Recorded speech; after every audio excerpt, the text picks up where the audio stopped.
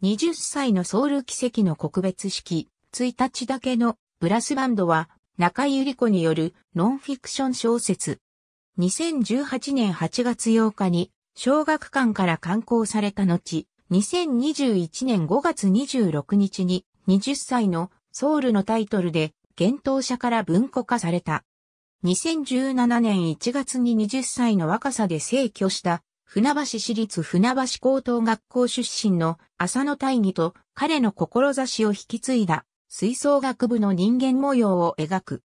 なお、浅野の告別式には彼が高校時代に所属していた吹奏楽部164名が参列し、高校時代に浅野が作曲した非戦僧侶を演奏したが、この楽曲は野球部の対外試合にて演奏されると得点が入ることから非戦のチャンステーマとも呼ばれている。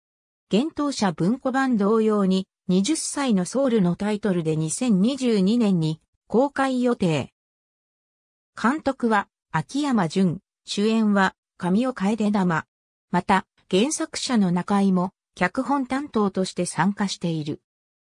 監督の秋山は4年前の新聞で浅野の記事を読んだといい、彼の生きた証を多くの人に知ってもらいたい。大義くんが我々を選んでくれたのだと信じていますとコメントしたほか、浅野役の神尾は、これがノンフィクションとは知らずに脚本を読んだといい、いろんな方から話を伺い、浅野さんの人望が厚かったことやとても愛されていたことを感じながら、彼の生き様をしっかりと伝えていきたいと意気込みを語っている。なお、神尾は本作でトロンボーンやピアノ演奏にも挑戦しており、吹奏楽部顧問役の佐藤光一と共に、私立船橋高等学校吹奏楽部を訪問して、演奏や合唱などを見学したほか、佐藤も顧問の高橋健一本人から指揮法を学んだ。ありがとうございます。